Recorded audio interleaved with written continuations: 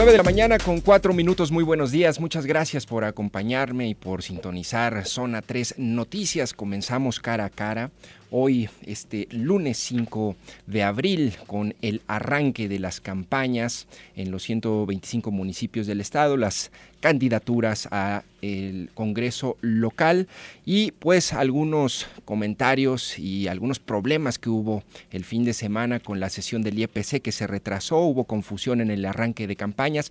Todo este tema lo vamos a comentar hoy en cara a cara y como primer invitado para abrir el programa vamos a tener con nosotros a Juan José Frangé, candidato a la presidencia municipal de Zapopan por Movimiento Ciudadano.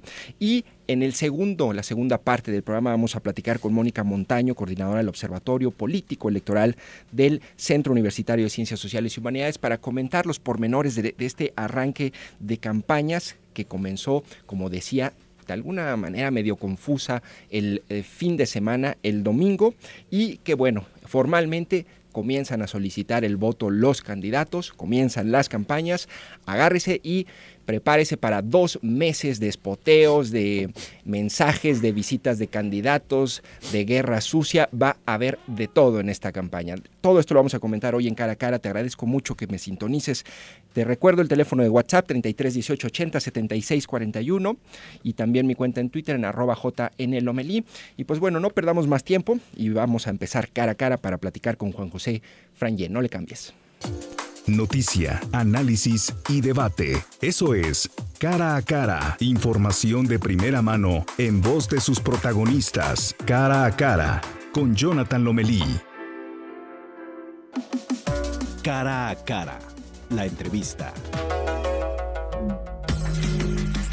Bueno, pues como les decía, inicio de campañas y le agradezco mucho a Juan José Frangé, candidato a la presidencia municipal de Zapopan por Movimiento Ciudadano, que nos acompaña en cabina. Buenos días, Juan José, bienvenido. ¿Qué tal? Buenos días, Jonathan. Un gusto saludarte, gracias por la invitación y a todos tus radioescuchas. Un abrazo. Bien, eh, Juan José, oye, a ver, ¿a qué hora te levantaste hoy? 5 de la mañana. 5 de la mañana, un poco es mi tarde, horario ¿no? normal. Para hacer el primer día hábil de campañas. Siempre tengo la costumbre de levantarme muy temprano y esto me ayuda a darle mucho avance a las cosas. Oye, Juan José, a ver, yo tengo que hacerte una pregunta antes eh, sobre el inicio de las campañas. Y me llamó la atención que tú fuiste el único que leyó su discurso en el arranque de campaña. ¿Por qué, por qué, por qué leíste un, un- un discurso? ¿De- ¿Decidiste hacerlo así? ¿Te lo sugirieron? Eh, ¿O a qué se debió? yo- déjame decirte, yo creo que eh, en todo lo que me ha tocado trabajar, en que me ha tocado en Coparmex, en la Cámara Restaurantera, en Chivas, yo creo que hay, hay que definir cuáles en cuáles les y en cuáles no les, ¿no? Yo creo que es un evento bastante emotivo, bastante importante y bueno, pues si te da la seguridad, esto es cada quien, ¿no? Si te da la seguridad, pues obviamente tú decides si lo lees o no lo lees, ¿no? Este, yo creo que eh, era algo para mí muy significativo y tratando de no perderte sobre todo ese mensaje que yo quería mandar, ¿no? Oye, ¿y tú, tú lo escribiste o te lo escribieron? No, yo lo escribí, lo claro. Así resúmeme en una línea, en una frase, ¿cuál es la- el mensaje principal de ese discurso? Bueno, Zapopan está presente, ¿no? Sí. Yo creo que ese y la otra es que tenemos dos líneas, que es la de eh, terminar, este, cuidar lo que hemos hecho, defender lo que hemos hecho y segundo, este, lo que vamos a hacer, ¿no? El, el mensaje La de la, de las niñas y de los niños, ¿no? El mensaje de la continuidad. Oye, Juan José, ¿qué te dicen tus asesores, tus spin doctors, que es el término gringo, ¿no? De estos Sí. asesores que se encargan de cambiar todo lo que es negativo, de manipularlo y hacerlo positivo o de cambiar las versiones. Pero ¿qué te dicen tus spin doctors sobre la campaña? ¿Qué, qué tienes que hacer? O sea, ¿tienes que sonreír más? ¿Tienes que acercarte más a la gente? ¿Cuál, cuál es como el principal consejo que te dan tus asesores? Fíjate o una que- bronceadita para que te asocien más con, con Lemos. No, déjame decirte, la verdad, el- a mí me encanta estar con la gente. Yo creo que los asesores, eh, eh, tengo dos equipos de asesores y esos asesores, yo soy una persona que me gusta escuchar, que me gusta que la autocrítica, me gusta que también pongan sus puntos de vista y de ahí yo tomo mis decisiones, ¿no? Si hay que estar más cerca de la gente, pues me gusta estar cerca de la gente, ¿no? Pero yo creo que hay gente profesional que te da tus consejos, tus tips para poder este, estar mucho mejor. Yo no soy una persona que me sienta que sé todo. Me gusta mucho preguntar, me gusta estar, este, cómo me ven, porque muchas veces detrás te ven diferente, y voy sumando todas esas situaciones de, consejos, de, de especialistas, ¿no? Y yo te digo, realmente mucha gente dice porque no estás cerca de la ¿por qué no estás más cerca de la gente? No, esa parte no. ¿Cuándo fue la última vez que estuviste en la mesa colorada? Pues hace en la en la intercampaña, en algunas reuniones chiquitas que estuve con los líderes allá. Oye, y este, bueno, eso sobre, dices dos equipos de asesores, ¿cuántas personas son en tu equipo de campaña entonces más o menos? Pues en, mi equipo de campaña, lo que es la parte de la compañía que me maneja toda la parte estratégica, y luego tengo pues, los que están en mi equipo de campaña, en la casa de campaña, ¿no? Los comunicadores, unos siete gentes que están directamente. Es pequeño. Sí, sí, sí. Directo. Oye, ¿cuál es, ¿cuál es el presupuesto que les dio el IPC para su campaña ahorita en Zapopan? Pues mira, nos dio aproximadamente casi Obviamente tienes que quitar, nosotros estamos quitando el 30%, pero son como 5 millones 100 mil pesos. ¿Por, qué le quitan el 5, el 30%? Es para multas, lo guardamos por cualquier tipo de cosas, ¿no? Para, que no pase. Para todas las, este, violaciones a la ley que prevén que se pudiera... así es. Pero que así llegaron y dijeron, este guardadito es para multas por, todo lo que podíamos pues hacer sí, Este, por si te entumes, ¿no? bueno, entonces, menos las multas. Oye, eh, y sobre Vamos a entrar en materia, eh, Juan José, sobre las propuestas. En tu opinión, eh, ¿cuál es el problema más urgente ahorita para resolver en Zapopan? Vamos a entrar en materia. Yo creo que son varios, ¿no? Digo, obviamente el problema eh, más urgente, y lo pide la gente, es una necesidad de la gente, pues la parte de la seguridad, ¿no? Creemos que es una parte importante, pero la otra también es la reactivación económica, ¿no? yo lo giraría ahí.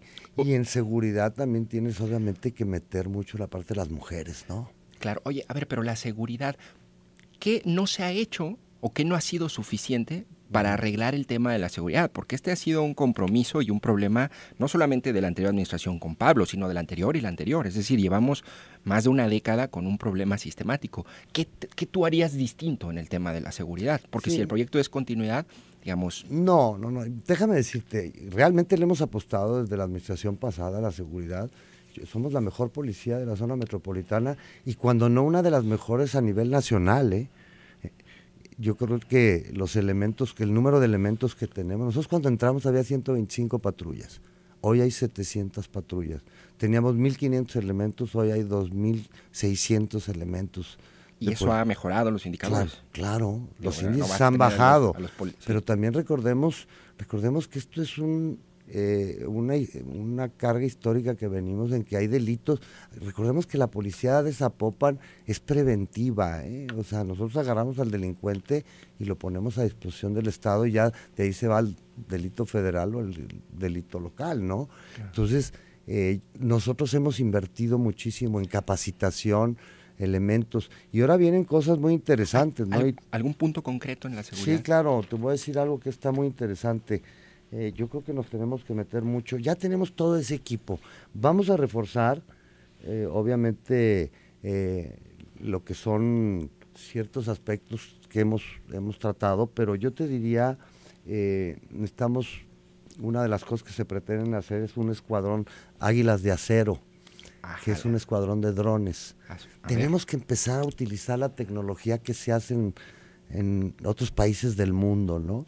Entonces, eh, un escuadrón de drones, literal. un escuadrón de drones, definitivamente. Eso va a ser algo súper interesante, el cual te, permite, te permite en tiempo real estar. ¿Quién ya tiene un escuadrón de drones en qué ciudad? ¿O de dónde toman el modelo? Aquí no, parecía. ¿De otro recuerdo que en Nuevo León había algo.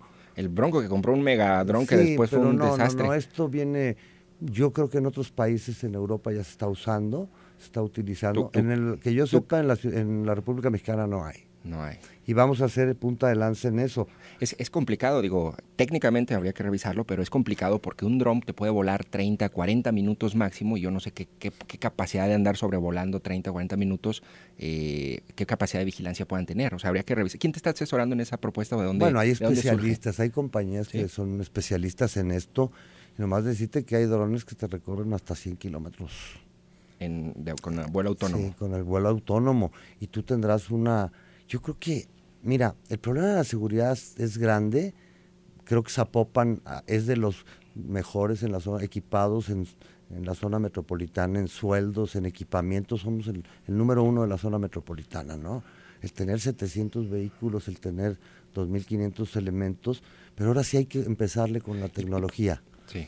Este, no todo, este, o sea, te diría algo, yo creo que habrá este, lugares donde si tú metes tecnología, metes este, esas partes que hoy no están usadas en México, empiezas a, a, cortar los problemas de seguridad. Oye, antes de irnos al corte, tengo un minuto, pero a ver, nada más déjame claro en el tema de seguridad, déjale claro a los radioescuchas. ¿Qué sí puedes hacer tú por la seguridad y qué no? Porque luego nos dicen, no, pues yo hice mi mejor esfuerzo y es culpa de la federación o el Estado no está persiguiendo. Pero ¿qué sí puedes hacer y qué sí no puedes tú y no está en tu competencia como presidente municipal? Mira, nosotros, nosotros lo que hacemos es la prevención, ¿no? O sea, definitivamente reforzar a que el ciudadano, las ciudadanas y los ciudadanos estén seguros, ¿no? Y, lo que, y realmente eso es lo que hacemos, ¿no? Nosotros detenemos al delincuente y cuando es un problema ya de otro tipo de, de, que compete a otras este, dependencias como el ejército y todo eso, ya cuando se habla de drogas y eso, bueno, pues lo manejamos o la, Guardia Nacional, ¿no? Por ejemplo, en el caso de Andares, cuando hay un tiroteo, no funciona el C5, no siguen en eh, tiempo real a los delincuentes, tarda en llegar la policía, ¿allí sí es responsabilidad del municipio o no? No, yo creo que sí, ahí sí, en ese, en ese sentido sí, ¿no? Eh, tenemos un problema todavía entre tanto con las cámaras del Estado y así como las cámaras de Zapopan, que es otro tema que vamos a, reforzar. Y se está arreglando, ¿eh? O sea, este tema ya está en proceso, por eso no lo tengo como algo de campaña, ¿no? Eh, como las este, propuestas de campaña, pero yo te diría, este, en Zapopan, o sea, 5% en tal delito es mucho, o sea, nosotros deberíamos vivir en paz. Y realmente lo que sí te digo es que en el caso de eh, las, las estas cámaras son importantes porque te permiten contra el, que vaya la señal al C5 y en ese momento te das cuenta, ¿no?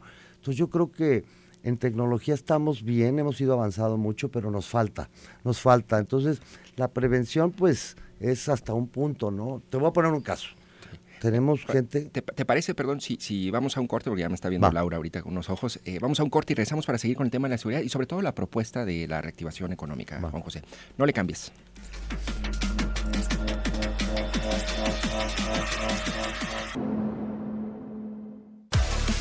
La agenda de Jalisco se escribe sobre esta mesa. Continuamos cara a cara en el 91.5, zona 3. Cara a cara, la entrevista. 9 de la mañana con 36 minutos. Gracias por seguir con nosotros en cara a cara. Eh, 33 18 80 76 41. El teléfono de WhatsApp, arroba JN Lomelí. Y ya está con nosotros Mónica Montaño, coordinadora del Observatorio, Observatorio Político Electoral del Centro Universitario de Ciencias Sociales y Humanidades, doctora en Ciencia Política, a quien le agradezco que me acompañe en cara a cara. Bienvenida, doctora. Gracias, buenos días. Bueno, doctora, a ver, eh, me gustaría comenzar a eh, comentar el arranque de las campañas, un arranque confuso. Te explico muy brevemente cómo ocurrió todo. El, el sábado eh, citan a sesión en el IEPC, se alarga la sesión más de la cuenta y hay confusión porque el arranque de campañas no podía darse formalmente sin, que se aprobaran en sesión del Instituto Electoral las candidaturas. Y pues bueno, esto genera inconformidades, críticas de los propios candidatos, que al final me parece que lo que va a desembocar es en mucha judicialización de en tribunales de todos los procesos y reclamos de los candidatos. Pero bueno, ¿cómo viste el arranque de campañas, los discursos de los, de los, este, de los que iniciaron, esta confusión del IEPC? ¿Qué te parece, eh, Mónica? Sí, precisamente como comentas, es un arranque de campaña típico. Pareciera que el IEPC está rebasado, a pesar de que, bueno, son los mismos puestos que, que se han renovado en, hace tres años. Eh, efectivamente, yo veo estas elecciones eh, con mucha tendencia a ir a los tribunales, a hablar de multas, a hablar de registros no aprobados, pues tenemos, por ejemplo, a los candidatos a gobernador de Guerrero en pausa, ¿no? Esperando una resolución. Como comentas, en Zapopan algunos candidatos iniciaron campaña y ya eh, se les ha advertido que esto pudiera generar eh, una multa, otros iniciaron... Y además muchos lo han agarrado como también, me parece, eh, se han agarrado de allí para empezar a hacer críticas, denostar y, y, lo que ya se llama este discurso medio de guerra sucia, ¿no? Es decir, muy mal arranque porque da pretextos, uno, para judicializar y dos, para que empiece a haber acusaciones gratuitas y se, y se empiece a desviar la atención en esos temas y no en las propuestas de los candidatos, ¿no? Sí, Ese es el problema de siempre. Claro, sobre todo porque a estas alturas seguimos hablando de las reglas electorales, ¿no? Seguimos sí.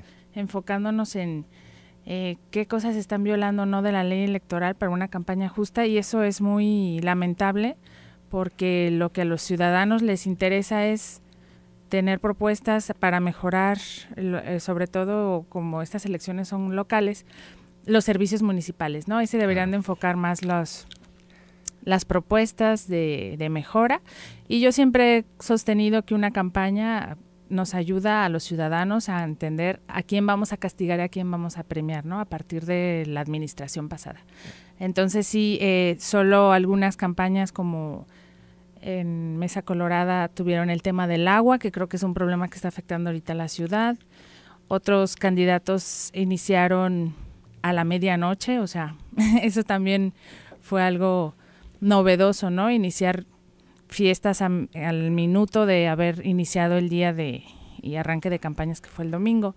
Sí. Entonces, bueno, también algo muy importante son las redes sociales. Están pautándose muchos contenidos por el mismo tema de pandemia y que a pesar de que estamos en una emergencia sanitaria todavía, sí hubo algunos mítines No, aunque masivos. con, aunque con cubrebocas, pero sin sana dista- distancia. Con ¿no? distancia, pues. Algunos sí, algunos Oye, pero, pero no dejaron a las empanadas ponerse junto a los templos y los arranques de campaña fueron frente a catedral, o sea, aquí Sí, exacto, hay, hay intereses mejores que hay, otros, hay ¿no? prioridades, Hay ¿no? prioridades, en las campañas. Oye, y ¿qué, qué- en tu opinión, cuál es la particularidad de esta, de esta, de estas campañas aquí a nivel local? Sé que las hace distintas de, de otras en otro momento. ¿Tienes alguna lectura al respecto? Pues mira, ya ves que ya se ha hablado mucho de que lo más particular de estas campañas va a ser el contexto de la pandemia. Pero también yo creo que eh, se trata de una re- un reacomodo de la clase política en partidos nuevos. Son muchos partidos, o sea, son 12 partidos políticos que están compitiendo, algunos en coalición, otros en otros no. Eso también causa confusión, ¿no? Porque algunos partidos van juntos en unos estados y en otros no. Eso va a generar sin duda un desinterés y un hartazgo por parte de los ciudadanos que ya no saben si un partido es diferente de otro, porque en un municipio se muestran como contrincantes y en otros estados van en coalición, ¿no? Entonces, sí creo que se trata de unas elecciones donde la clase política se está reacomodando para seguir ahí a pesar de que sus partidos están en Pero, crisis. pero reacomodando de, de reacomodados, de que se, por ejemplo, un fenómeno que a mí me ha llamado la atención mucho, y no sé si tú tengas la misma impresión, eh, Mónica, ya te estoy tuteando, este, eh, es el chapulineo, el fenómeno de la plaga de chapulines. Hay un ejemplo que me parece sobresaliente, que habría que ponerlo en el cuadro de honor de chapulines, y es el de Luis Munguía, de Puerto Vallarta, diputado local por MC, que por paridad no le dan la candidatura a la alcaldía de Vallarta, se va a Morena, estaba viendo antes de venir para acá el anuncio en donde dice creo en el proyecto de López Obrador, no le dan la opción y después se va al Partido Verde a contender por la alcaldía y ayer el IEPC le dice no, no procede tu candidatura, entonces se quedó sin, sin candidatura, pero a ver, ese es un tema, Luis Munguía, pero Sergio Chávez, si ustedes recuerdan que también, por cierto, ahorita les doy el dato, eh, le quitaron la candidatura el IEPC en sesión porque no cumplió con los requisitos. Sergio Chávez de Morena, ¿te acuerdas? Era priista. Compitió y fue alcalde por MC y ahorita quiere ser alcalde por Tonalá, aunque está en suspenso su candidatura. O sea, ¿qué onda con el chapulineo? ¿Es, es particularmente acentuado en esta elección o, o siempre ha sido así? ¿Qué impresión tienes? ¿O qué, Ahora qué lectura es, tienes? es mucho más. Hay más chapulineo. Hay más, sí. Eh, según un análisis que hicimos en el observatorio en 2018, sí hubo este fenómeno que, bueno, es cambio de partido en campañas. Obvio, todos se van a partidos políticos que tengan posibilidades de ganar y sin duda has tocado un tema fundamental. El tema de la paridad ha hecho todavía más eh, común que se cambien, ¿no? Que los hombres, al no poder tener una candidatura que le toca a las mujeres por la ley, pues tienden a cambiarse más. Ese es un punto y el otro es sin duda el fenómeno de Morena, ¿no? Que en 2018 arrasó con el sistema de partidos, o sea, PRI, PAN, PRD están en la cuerda floja, tanto que van hasta en alianza, ¿no? Entonces, eso ha generado que los, los candidatos de estos partidos que buscan seguir en la política y sobrevivir, pues eh, cambien tan fácilmente de ideologías, ¿no? Sí, y ahora, ¿tú qué, ¿tú qué respondes o qué piensas de esta, este argumento que a mí me lo dan un día sí y el otro también en esta mesa?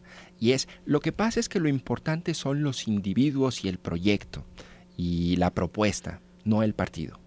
No, yo no creo que no, porque se ha demostrado que en los países de América Latina, donde hay más este tipo de, de comportamiento que en algunos eh, casos se le llama transfugismo, ¿no? Eh, es el término más de, la ciencia política, aunque se ha usado en, contextos específicos, es cuando hay poca institucionalización de los partidos, cuando un partido político es débil, no tiene estructura, no tiene un programa como tal, es cuando se da más este, este fenómeno. Eso para mí es una, em, es una debilidad porque quiere decir que no tenemos partidos políticos sólidos con un programa a largo plazo y lo único que tenemos son individuos que, bueno, em, saben hablar, saben venderse ante, los, ante los ciudadanos a veces. Y pues lo que buscan es un proyecto personal. Porque ¿Cómo se puede arreglar eso, Mónica? Es decir, eh, debería estar legislado y prohibir, pero ya yo siento también que de repente ya estamos sobre regulados y con exceso de leyes que ni siquiera se cumplen. Eh, debería ser una cuestión ética, deberíamos reducirnos a dos partidos nada más. ¿Cuál sería una alternativa para acabar con este fenómeno? Que sí es un problema, ¿no? Sí, es un problema y que tiene que ver con la institucionalidad de los partidos políticos. Al tener partidos políticos débiles que solo funcionan como plataformas electorales y no como plataformas de gobierno. O sea, en Europa lo que hay son programas de gobierno a, largo, plazo, ¿no? Una visión de, cómo se tiene que hacer la política y, y gobernar. Y lo que pasa aquí es que solo tenemos partidos que son plataformas electorales cortoplacistas que responden a las encuestas del momento, la preferencia del momento. ¿De quién es culpa que pase eso? Pues en parte de la clase política, porque quiere decir que no se ha profesionalizado como tal. Se, se, sigue viendo solamente que hay que prometer, pero nadie está pensando en cómo cumplir o cómo hacer programas de largo plazo en la ciudad o en el Congreso, ¿no? Solo se está viendo cómo ganar una elección y la mayoría de los candidatos es lo único que, que han se han profesionalizado en hacer, en hacer buenas campañas para prometer, pero que no han dado el siguiente paso de ver la ciudad a largo plazo. Todo el mundo promete, pero nadie se preocupa por cómo cumplir. Sí, por eso es que tenemos en Jalisco desde el 95 una crisis en cada elección intermedia. En cada elección intermedia eh, se pone en, duda el, partido del gobernador y por eso hemos tenido una alternancia tan, Oye, vamos, claro, eh, y ahorita justamente quiero después del corte hablar de, ese tema de la hegemonía de MC, te voy a dar algunos datos, pero a ver, antes de una pregunta breve, Mónica, doctora en ciencia política, ¿cierto? De, directora del Observatorio Electoral de la UDG, es decir, empapada y claridad en, la geografía política del Estado, la tienes. ¿Tú en este momento, al 5 de abril, ya tienes claro por quién vas a votar? No.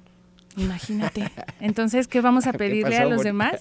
o sea, si no, pues, si no lo tienes claro tú, entonces imagínate el ciudadano promedio. Sí, sobre todo porque, como dije al principio, creo que se trata de una visión plebiscitaria del voto, que es castigar o, premiar, ¿no? Y desgraciadamente hay elementos que sí uno quisiera premiar de algunos partidos, pero... Justamente de eso vamos a hablar y de la apuesta de Movimiento Ciudadano por seguir en el poder o la planadora de Morena repite en Jalisco y se lleva la joya de la corona que es este estado de Jalisco, la zona metropolitana. Vamos a un corte y regresamos con más, Mónica, para comentar justamente este escenario. Muy bien.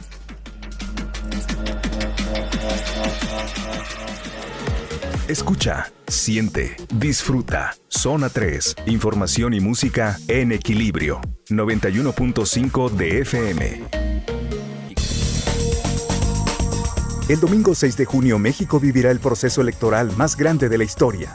15 gubernaturas, 500 diputados federales, 1907 diputados locales y 30 alcaldías serán un total de 21.000 cargos de elección popular. Ese día más de 48 millones de mujeres y alrededor de 45 millones de hombres ejercerán su derecho a elegir a sus gobernantes mediante su voto. Zona 3 estará presente para llevarte todos los detalles de, las elecciones más grandes de la historia. En el 91.5 FM y a través de sus redes sociales, Zona 3 Noticias, Zona, electoral. Un buen diálogo genera puntos de acuerdo. Hagámoslo cara a cara. Continuamos en Zona 3, 91.5.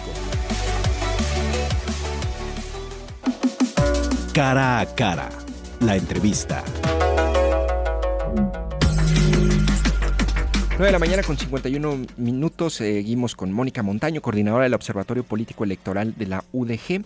Y estamos hablando sobre este arranque de campañas y a ver, otro punto que quiero abordar contigo, Mónica. Movimiento Ciudadano va o lucha, se juega en esta contienda su superioridad o su hegemonía, no solamente en la metrópoli, sino también en el Congreso.